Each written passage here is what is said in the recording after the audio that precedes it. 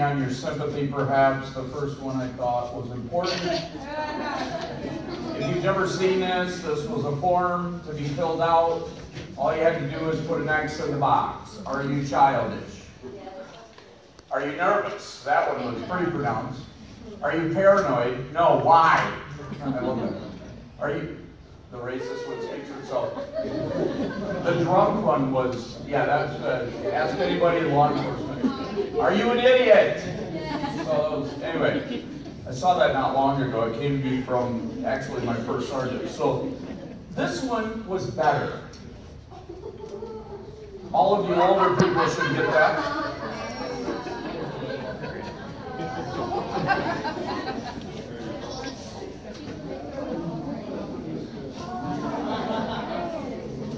You know the popcorn guy? That's pretty good. You have to admit.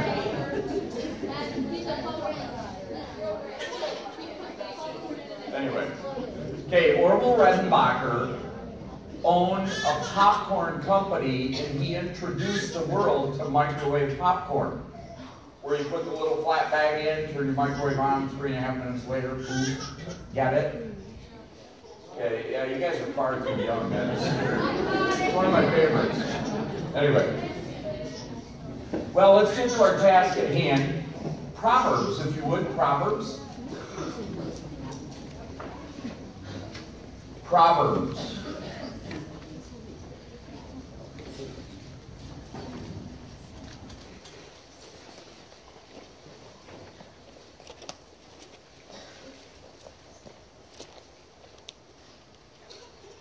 We're going to look at verse 20, uh, verse 1 of chapter 27.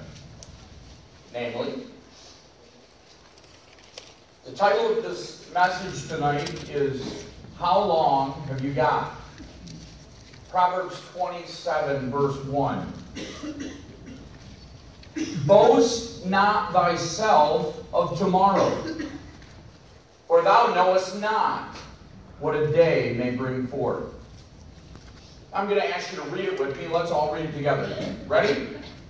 Boast not thyself of tomorrow, for thou knowest not what a day may bring forth. I want to read one more verse, and it, it should be either there on the page or real close, and it's Proverbs 29. We've read Proverbs 27, verse 1. Would you look with me at Proverbs 29, verse 1? He that being often reproved hardeneth his neck shall suddenly be destroyed, and that without remedy.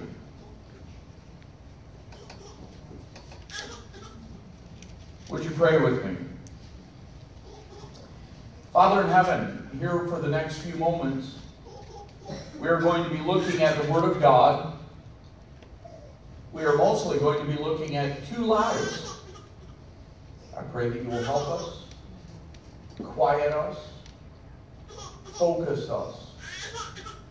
What is about to be said here is the most important words that will ever happen in these men and women's lives on this day, this time.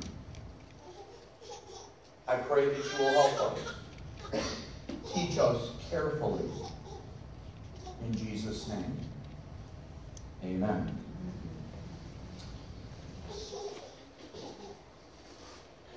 Rex and Annette were normal, wound up, junior age kids who happened to come to a church one Sunday on a bus. They listened fairly well in the service. Rex was kind of a clown and, and Annette was really shy, but they did okay. They were invited to come back the next Sunday. Rex was a sixth grader, uh, a, funny kid, practical joker, uh, loved games, especially playing tricks or pranks on the bus workers and the junior church preacher and his wife. Annette, on the other hand, was very shy.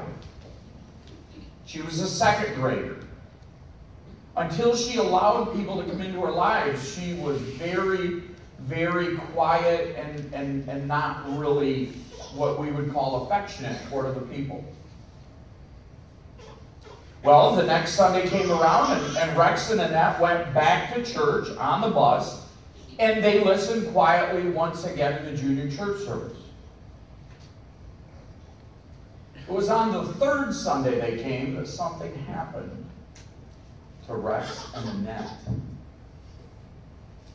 The junior church preacher preached to all the kids that day. There were about 75 children in their junior church. And so he preached to them on knowing Jesus as their Savior. And he talked to them about how to accept God's gift of salvation by asking Christ to save them. He, he preached on the amazing greatness of heaven. And he also talked about that was the place where God would abide forever, and everyone who would know Christ as their Savior would go there and live with Him. He also preached on the horrible, terrible, awful, inescapable eternity of hellfire forever. Reminding those children and young people of, of the never ending burning to death while drowning in a lake of fire the two most gruesome and horrible ways for a person to die. And yet, because of the eternality of it, a person cannot die. They exist forever on the brink of death with no relief. The junior church preacher also used John chapter 3 and verse 16, and he told the young people that God loved them so much that he sent Jesus to come to the earth to be the Savior who would die on the cross and rise again, proving not only that he was God, but that he was able to save their souls from the fires of hell forever. He showed the young people the Bible verse that says in Romans chapter 5 and verse 8, But God commendeth his love toward us, in that while we were yet sinners, Christ died for us. He showed them Romans 10, verse 13, where the Bible says, For whosoever shall call upon the name of the Lord shall be saved.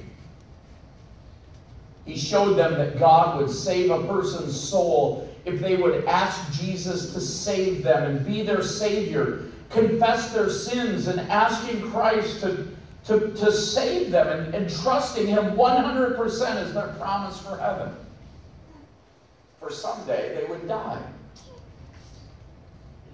At the invitation, Rex, who was sitting amongst the other boys, raised his hand when the junior church pastor asked if there was a young man or young lady who had never accepted Christ but would like to. And Annette, she was sitting by the junior church preacher's wife because she was still a little shy and she was kind of really the only adult she would sit with, but but the junior church preacher's wife felt that brush against her arm when Annette's hand went up. Rex did not know that his sister had raised her hand. And Annette did not know that Rex raised his hand. They stayed after junior church dismissal and the junior church preacher and his wife led them both to Jesus Christ. Amen. It was an amazing day. And that day, Rex prayed and asked Jesus to forgive him of his sins. He asked Christ to save him, and Annette prayed and confessed to Jesus her sin. And, and she asked him to please be her Savior and save her soul.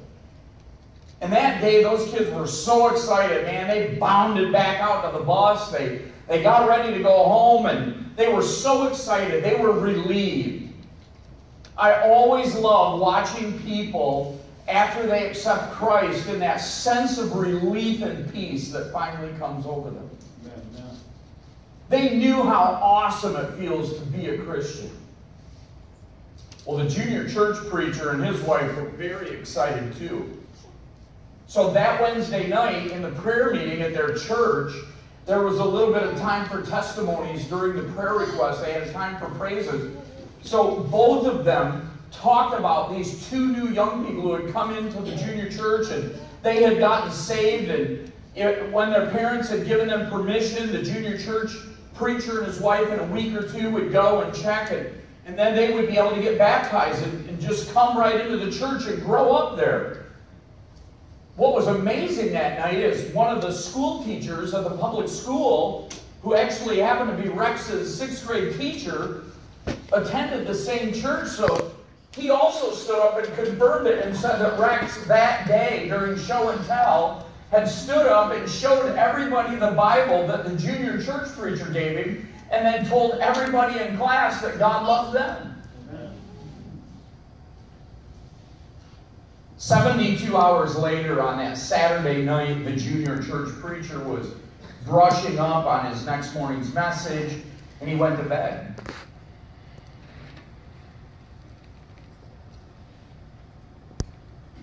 About 3.30 in the morning, the phone rang. The man answered it, and on the other end, a crying voice said, Are you the preacher at Oakfield Baptist Church? And his answer was kind of abrupt. He said, No, but, but I preach the junior church at the church. I can get a hold of the pastor for you, but can I help you? And the voice on the other end, crying and screaming, Do you know a boy and a girl named Rex and Annette Vanderbilt? Do you know them? Ma'am, I, I happen to do know them. They're brand new kids. There's been an accident and you must come quickly. Click. And that junior church preacher didn't know what to do. You know, he's 3.30 in the morning. But he was a licensed firefighter. He was not on duty that night, so he did not have his radios on. He got out of bed, quickly dressed, and although he was off duty, he did turn on his handheld radio to a flurry of fire traffic. He could see the glow in the sky up ahead, and he knew this house was fully involved. The only reason he knew their address is because the little decision card they had filled out the past Sunday, they had attended to, but they finally filled out the card.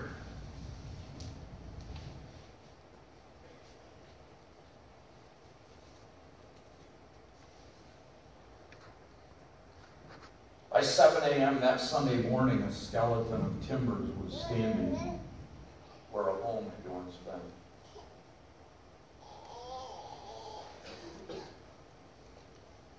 Rex and Annette's dad and mom had been taken by helicopter to Spectrum Butterworth campus, Grand Rapids, Michigan. They were both in critical condition.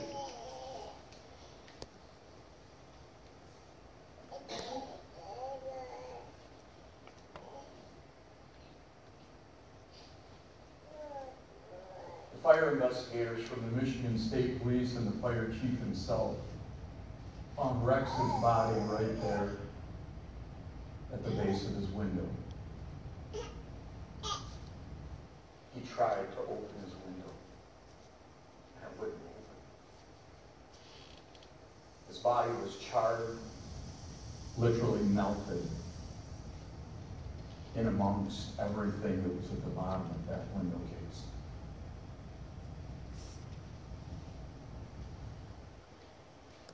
Amy's body was literally melted into her mattress. She had died in her sleep and had burned so badly that she was not recognizable as a human being.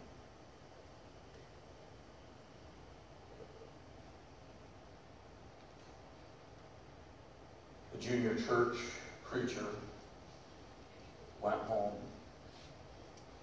and he cried. And he cried. And he cried. He told his children of what had happened. And I will never forget my father telling me, because I too was in that junior church, and I saw both of them.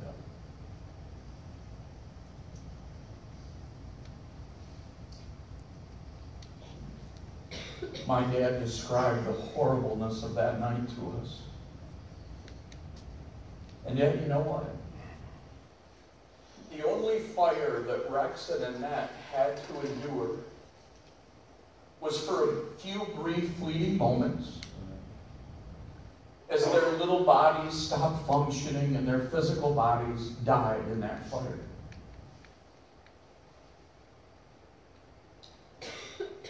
Today, when I think about Rex and Annette, I realize that Rex is my age. He would be 52. Why did I make 52? And he didn't. Well, that's a question none of us will ever be able to answer. I do know this. I know that today, Rex and Annette run and jump on golden streets. Amen. They talk about and enjoy the company of Jesus himself. Beings like Gabriel and Michael.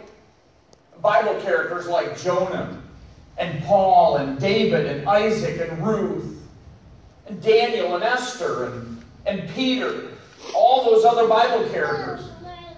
They see people from history. They understand the saints of all the ages whose souls are as alive today as they ever were in the presence of God. They get to see and be with Jesus forever. They will never again feel pain. They will never again feel terror. They will never again feel hurt.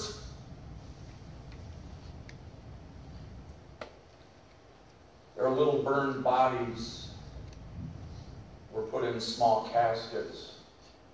They lie under the soil to this day at the Oakfield Cemetery but their souls are alive with Jesus in heaven. Amen. And when he comes in the air, what we call the rapture, they will rise first, where their bodies will once again be rejoined with their souls and their spirits, but this time they will be perfect. They will have no blemish, they will show no scar, they will show and bear no imperfection. Truly incredible. But some of you are here tonight. And if your heart quit beating, or you would have died in that house fire, the fire of hell would have just begun for you. Because the Bible says of hell that it is a place where the fire is never quenched, where the worms and the stench and the rot of it are never quenched. The Bible declares it to be a place of weeping. And not just weeping, but the wailing that most of you have never heard. But I have heard many times when I've stood in a trauma room and watched parents sobbing uncontrollably over a young person of theirs who has been killed.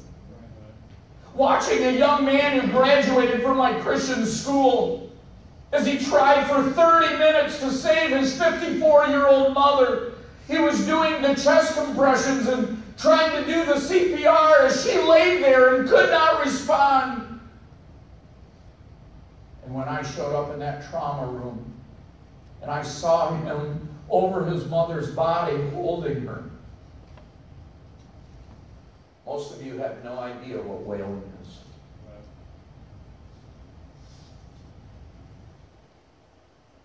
The Bible declares that hell is a place of gnashing of teeth, the hurt, all of the bitterness, all of the hatred, all of the animosity, all of that coming together in a place so horrible that only Scripture could give it proper vocabulary terms. No escape No way out. No relief. No water. No break. None. None. And it's forever and ever. And yet you sit here tonight and you are not sure that if you died tonight you would go to heaven.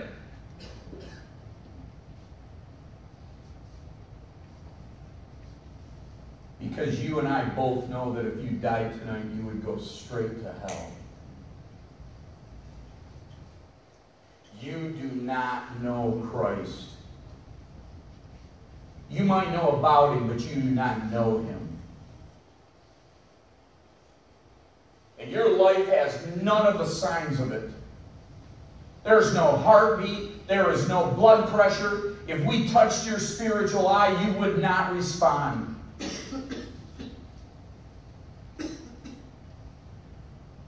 You would go to hell because you never accepted Christ as your Savior. You lived in unbelief. You've never become a Christian by trusting in what Jesus did at Calvary when he died on the cross to save you. If you don't think it's real, you better think again. This is little KJ's casket. It was custom made.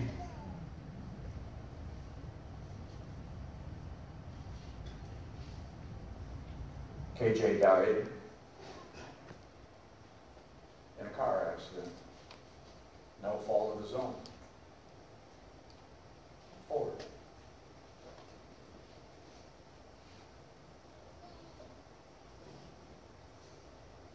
You know how many men I've buried under the age of 40? How numb a widow and those two children were to stand there and let someone take their photo. All because he died in a construction accident.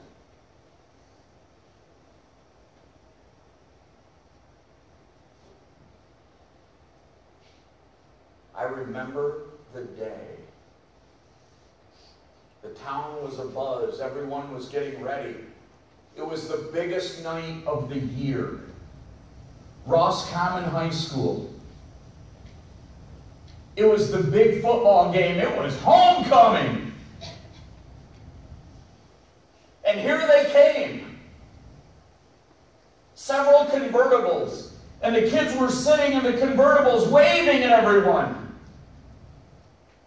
When a fire call came out, and a fireman, not knowing that they were coming around the corner, hit one of the cars, and he killed the homecoming queen on her way to the football stadium.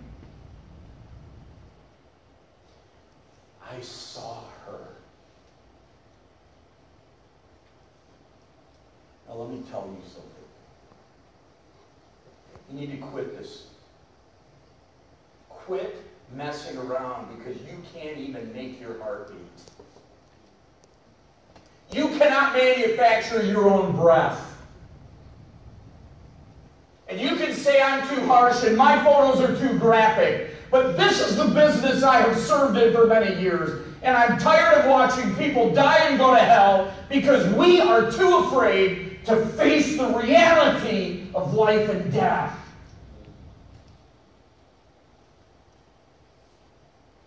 She was beautiful. When he hit her car, she, she literally threw her out of the car and she hit her head on the blacktop. That's it.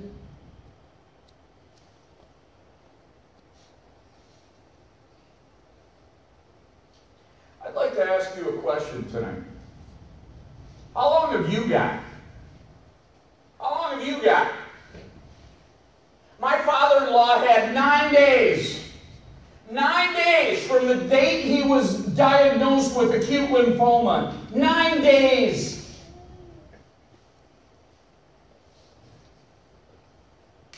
Gone. One of the saddest pictures I have in my files is my wife and my mother standing there when we first walked in as they're looking into that casket numb. Numb. It's gone.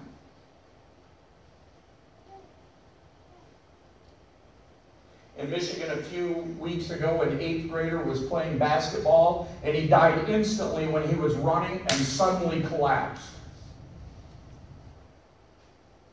In Michigan last winter, a 13 year old girl on a junior high volleyball team tripped and fell on the court and died from the trauma laying on that gym floor in front of 250 fans. And don't you tell me, I'm going to live to be old. I can do anything I want. I'm going to live forever. Yeah, you better think again. Because only with Jesus will you live forever.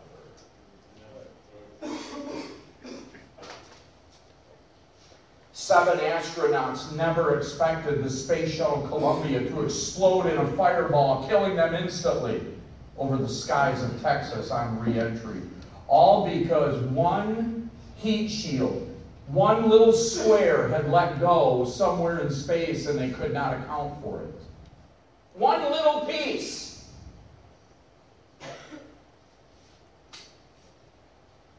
And when they found their flight suits, because they were Nomex and because they were fireproof, their bodies were completely burned in them.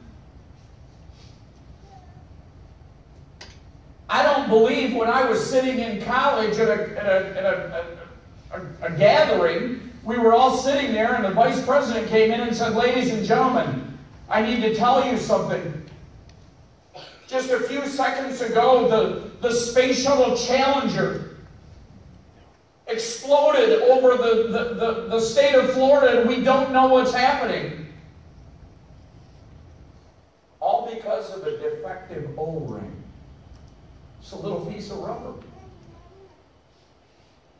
And those men and women died instantly.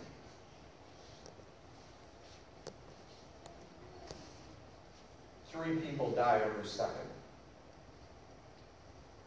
And my funeral director was right. Because as he, with tears, was embalming that prom queen, he reminded me, Dave, Dave, remember the two rules in mortuary science. Rule number one, people die. And rule number two, they're not always old.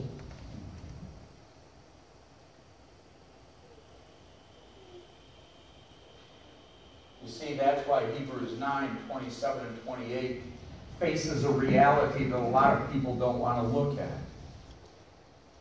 As is appointed unto men once to die, but after this the judgment. So Christ was once offered to bear the sins of many, and unto them that look for him shall he appear the second time without sin unto salvation. So I'm going to ask you a simple question. How long have you got? How long have you got?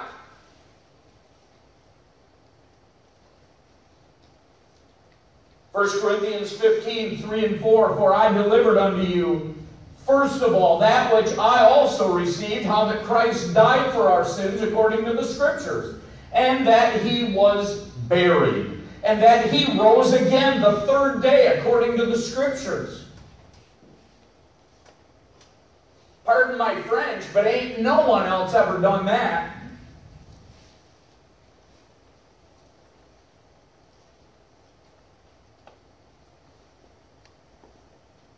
And what I believe to be the greatest statement God ever made to humans. Jesus made it to a man who was sitting with him in the night, and Jesus said to Nicodemus, For God so loved the world that he gave his only begotten Son, that whosoever believeth in him should not perish, but have everlasting life. I love life. The word believeth there means to trust completely, to place one's trust in. And I believe Nicodemus did that. I'd like to ask you a question. Because tonight you make a choice. You can choose Whether you will agree and believe with what the Bible says or keep doing your own thing. Because you're going to make the choice.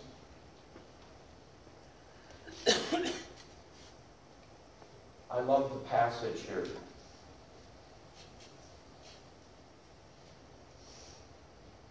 But there's a real simple reminder.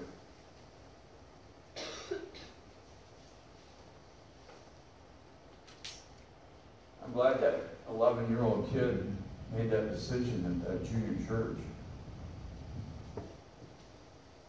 I saw him three times. The fourth time I saw him, I couldn't see inside a closed casket. All I saw was a picture.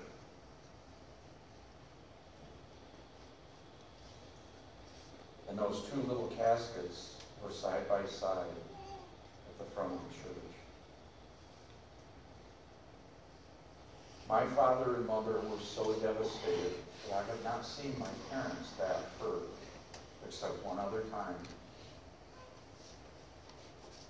when they were forced out of the church ministry.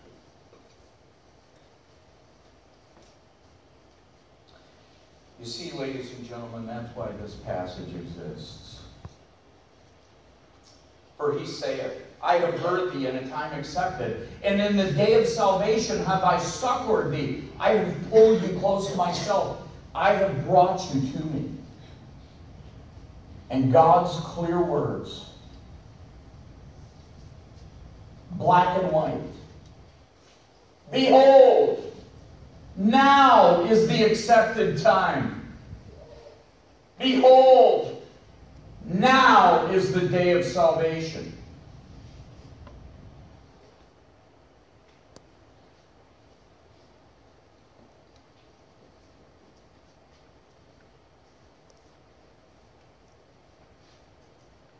It's time for you to grow up and think this through. And for that purpose tonight, I have not treated you like boys and girls. I have treated you like men and women. In fact, I have probably treated you more like soldiers than I have children. It's time for you to think this through. Is today your day? We don't know.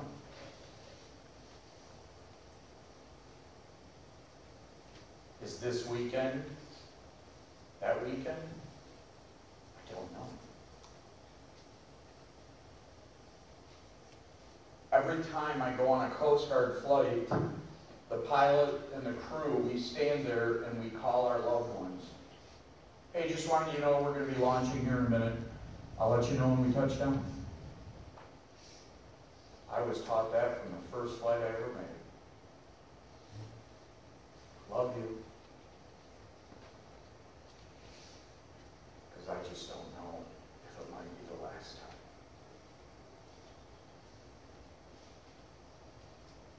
Four out of ten people on Kansas roads are driving under the influence of either drugs, cannabis, or alcohol 24 7.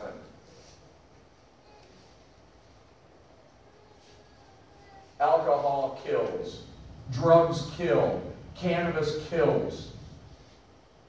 And you're getting in cars every day and driving the opposite way of them.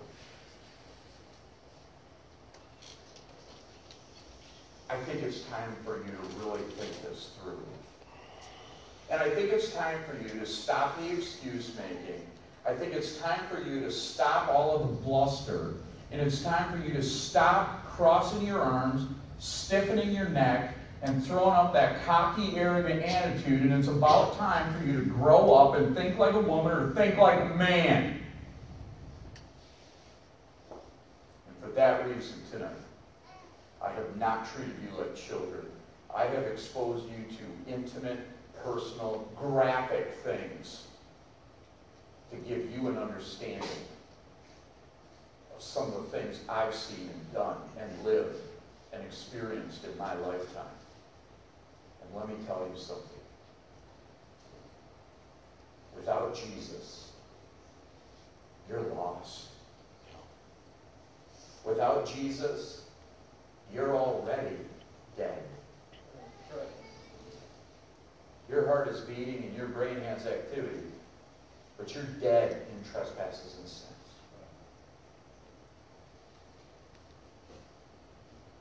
Jesus said, I am come that they might have life, and that they might have it more abundantly.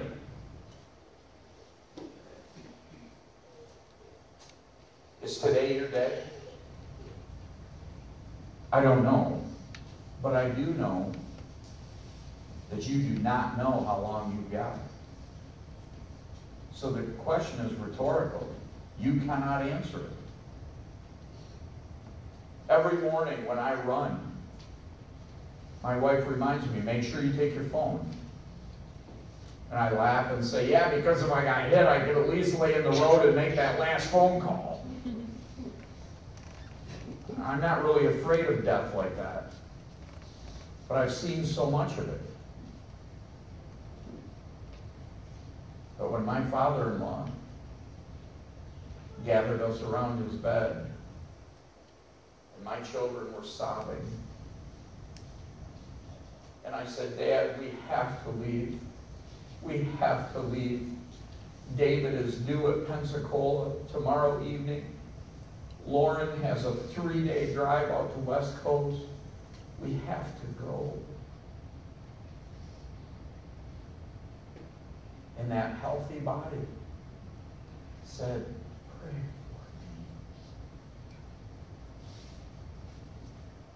We all prayed together.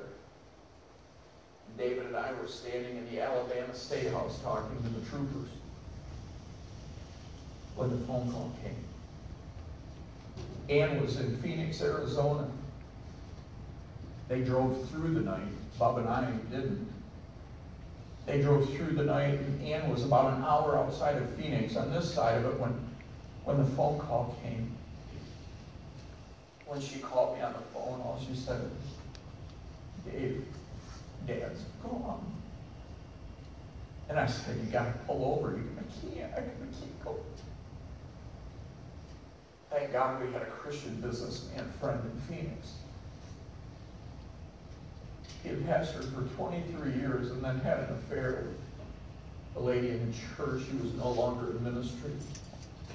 But he was a good friend and he kept being a soul winner. And I stayed his friend because far too often we destroy and annihilate our wounded. I called him on the phone I said, Frank, I desperately need your help. He said, Dave, I'll drop whatever I'm doing. And with 23 years of ministry experience, he ministered to my wife and my daughter. My kids couldn't even attend their grandma's funeral. But I remember attending Gregson and X.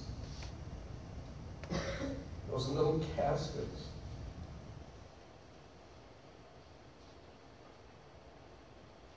I just don't know. I just don't know. But I do know this. That while I cannot answer that question, and while you cannot answer that question,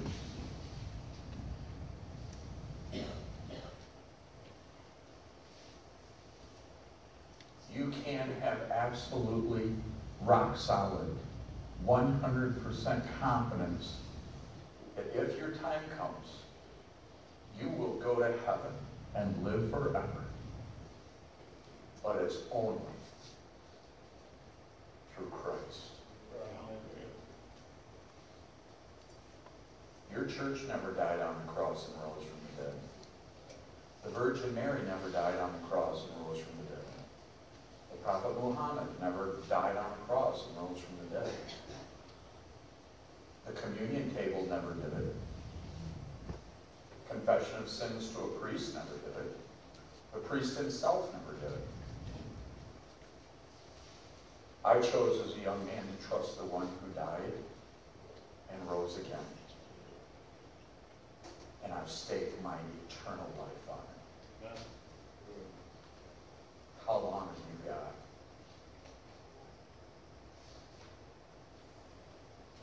You've got right now.